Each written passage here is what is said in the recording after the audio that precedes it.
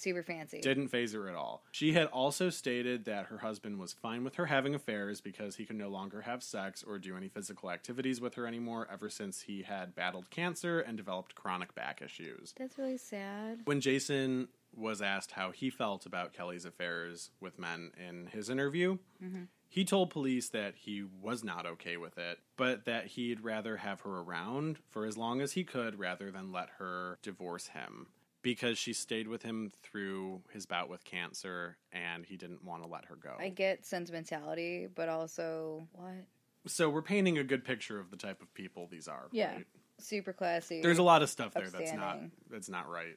After being questioned by the police, the two of them moved back to Merrillville, Indiana, Oh. where they were both originally from. Oh. Nobody could stop them from making the move because police didn't have enough concrete evidence to charge them with Chris Regan's murder. They also, still at this point, haven't even found a body. Laura Frizzo, she was determined to do whatever she needed to solve this case, and after the Cochrans moved back to Indiana, Laura seized the opportunity and got a warrant to search the house now that it was Vacant. mostly empty. Yeah. Weirdly, they left a lot of stuff behind. Oh, not surprising. It seems like they move really quick. A lot of their belongings had been left behind, such as a loaded 22 caliber gun found under the TV. Great. The biggest Under the TV. So not only are they leaving a loaded gun, but also a TV. So they left like whoa quick. Yeah. The biggest indicator that they were on the right track with this investigation, though, was that right above the front door when they walked in, there was what appeared to be blood splatter on the ceiling. Outstanding. Laura went as far as to hire a psychic medium. So no wonder you like her. I, I just love her so much. so she hired a psychic medium to come to the house and see what she could pick up on. Mm-hmm. The medium told Laura that before she had even walked through the front door, she saw a vision of a man, which her description sounded a lot like Chris, Uh-huh. who had walked through the front door. He went up a few stairs to his right. And there's a little bit of a blur after that. And sometime later, he notices that something isn't quite right about the situation. And he turns to leave the house and exit, but is hit by something really abruptly in the head. And then it all goes black. Okay. All right. The medium actually thought that it was a baseball bat. okay. So this is a super small town, as we know. hmm Where was this person from? Where was the medium from? I don't know. And if it's a small town and people know that this investigation yeah. is ongoing, Everyone everyone is super gabby in tiny towns. it's real hard with mediums because you have to make sure that they don't know anything at all about the case. my old teacher lives in a house that's really close to my grandfather's property, but all of the other neighbors are over a mile away. And I know everyone's business because when my mother goes up there, they all have chats with her, and Barb comes and talks to her like the small town biddy bullshit. Maybe. I mean, I don't know where she was from. I don't know how far she would have traveled to get there. So that's an important option to weigh. Frizzo at this point was stretched to the limit because her small police force was already investigating two unrelated homicides. Retired Michigan State Police Sergeant Michael Neger volunteered to help. So, good guy. Yeah. Michael conducted a fresh search of Chris's car. He found multiple fibers, lots of hair. He found a stocking cap, but the most important thing that he found were dried leaves caught and smashed into the seal on the trunk door. Okay. He noted that Chris had no trees by his apartment, but that the Cochran's house was completely surrounded by them. and wanted to take the leaves to find out what kind of tree they came from so that they could hopefully place a location. I'm gonna guess. The trees that were on their property were those were those the trees that those leaves came from? Uh, one would assume at this point, right? so he and Frizzo also discovered something else really interesting. The GPS in Chris's car places him at Kelly's house the night that he went missing. They kept digging deeper and started looking now into Kelly's internet browsing history. Here's a direct quote from Michael. Sometimes people, when they're going to commit a crime, will go and search stuff on Google, like Yep. how to dispose of a body. The evidence I found on the computers were Google images, specifically satellite imagery of the Caspian Pit. The Caspian Pit, like Yeah. how ominous and amazing does that sound? the Caspian Pit is an abandoned mine pit outside of town. It's filled with deep and murky water. Divers, when they went into it, didn't find Chris, but they did find a burn barrel. Oh, Interestingly enough, the Cochrans had a burn pit in their backyard, Oh, how funny. but the barrel from it was missing. Oh, weird. And there's no way to say 100% whether or not this was the missing barrel from their backyard at this point. But it's certainly an interesting coincidence. Yeah, no kidding. Kelly and Jason Cochran. They told relatives that they were tired of being harassed by police over Chris's death, which, once again, at this point, they haven't found a body. just, I feel like they consistently step on their own toes. They do. And Kelly, who had been having a whole lot of affairs up until this point, started another affair with a woman whom she asked to enter into a serious relationship with. And the woman agreed because they were, I don't know, they were getting all the feels or whatever. Right.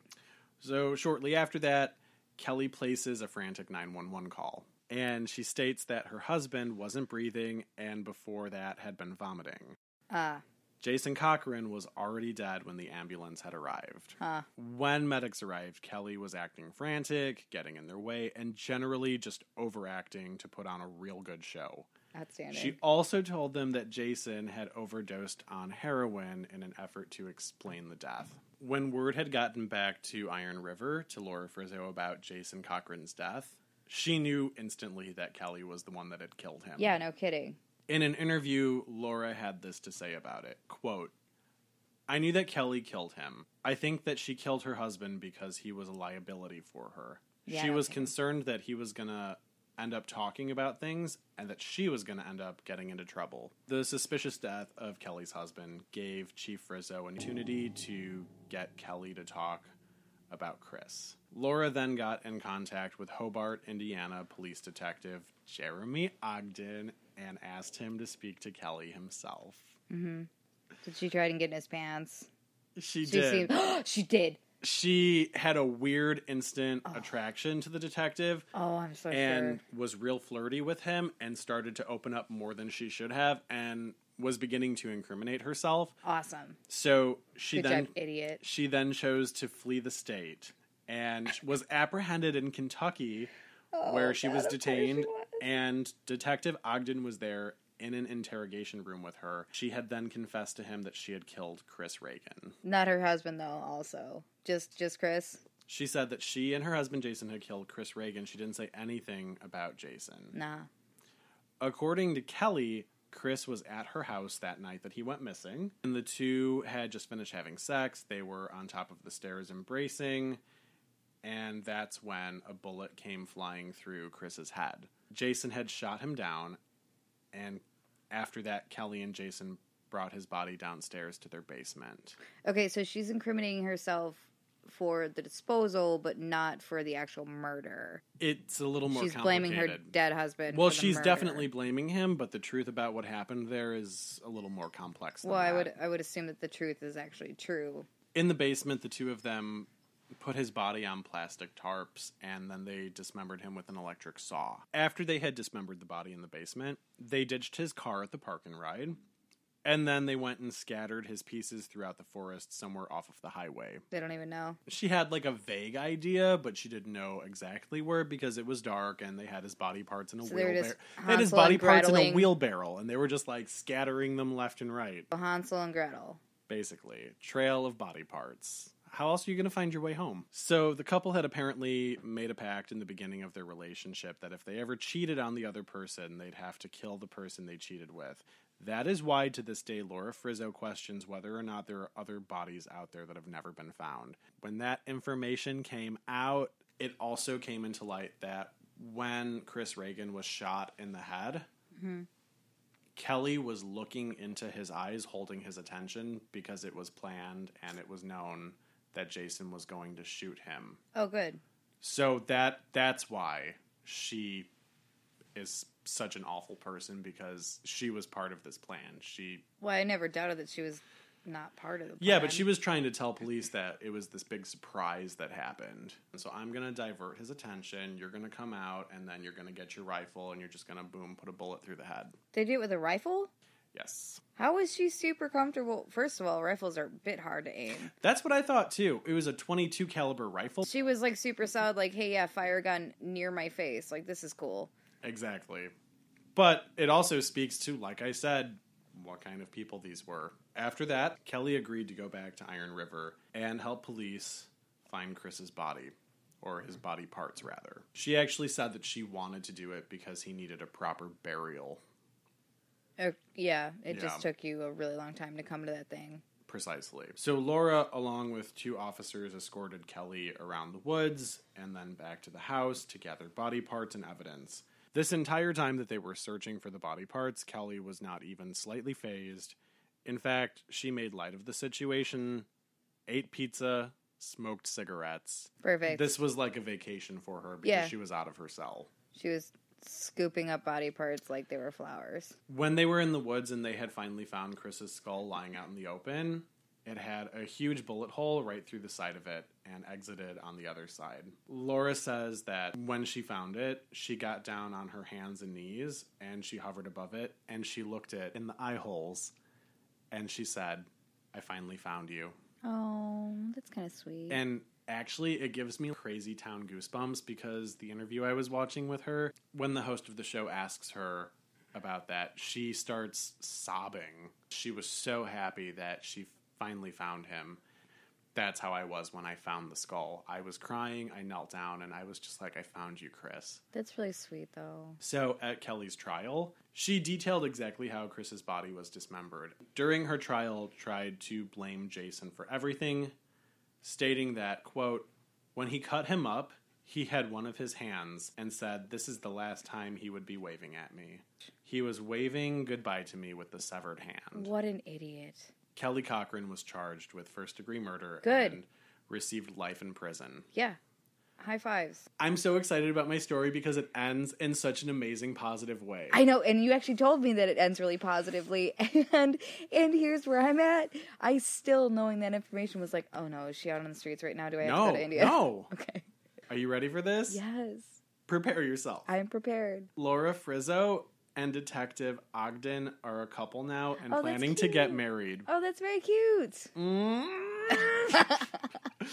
and it's really funny too because in the interview, she was talking to her and she was like, So I would imagine that Kelly Cochran's probably not super thrilled about you and Detective Ogden dating. Outstanding. And she was just like, "Mm, No, probably not. I would visit her in jail And- together to and- see that reaction. So that's my story. No, it's And I hope that you like it. But everybody, if you're interested in that, should definitely watch that show that's coming out. It's called Dead North. It's going to be on Investigation Discovery. Well, even now that I know the information about it, I'm still watch it. So what are you going to tell me about? So the Choate Mental Health Center in Anna, Illinois, is what I'm going to tell you about. Anna, Illinois. Yeah, I originally was gonna do the Manteno one, Oh, okay. but I found out something about this, and it it seemed really interesting. Okay. History is not great. I found out a term that I've heard a lot, what it mm. actually means. I thought I knew what it meant, but I don't, and I was upset.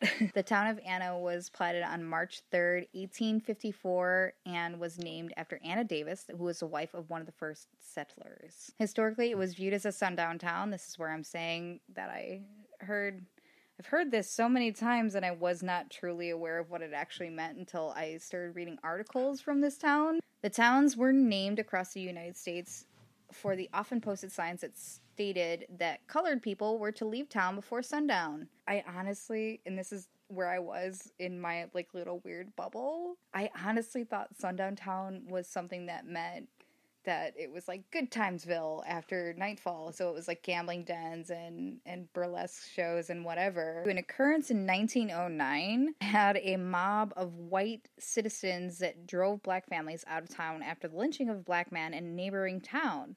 A historian even had recorded that for many anna stood for ain't no negroes allowed. That's really fucked up. yeah luckily the town hasn't maintained those sentiments today Is the hospital still open to this day or Yeah, so right now it's the Choate Mental Health Center and Developmental Center. They actually have events there. There's one that's called the Color Festival, but I'm not sure exactly what that pertains to. Funded by an act of legislation in 1869. In March 1875, the North Wing was completed and ready for occupancy. The original site was around 290 acres, and some of the cost and labor was donated from citizens in the county. Okay. It was always intended to be an asylum, and to house people who were mentally ill in any capacity.